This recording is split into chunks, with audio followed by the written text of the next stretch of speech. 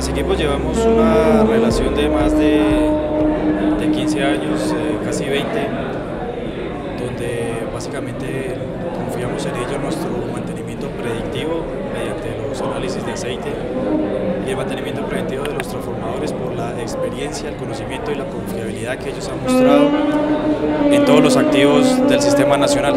Por eso nosotros confiamos en ellos trabajos que hacen y en lo que nos pueden ofrecer de aquí a un futuro. Esa confiabilidad es poder dormir tranquilo sabiendo que Transequipos es quien presta ese servicio.